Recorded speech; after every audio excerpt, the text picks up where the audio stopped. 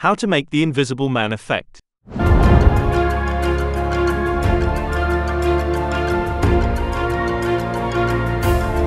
Today's video is sponsored by The Invisible Man.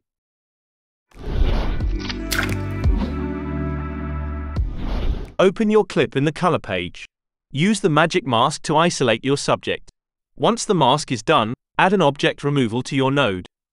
Change the scene mode to background and hit the scene analyze button. Play around with the search range slider until you've got something that is not that bad. Back to the edit page, right click on your clip and select to render it in place. Once the render is over, make it a new Fusion clip and open it in the Fusion page. Add a displace node. Bring a fast noise node in empty space and connect it to the displace. Import your masked clip into the flow and connect it as a mask to the fast noise and the displace node.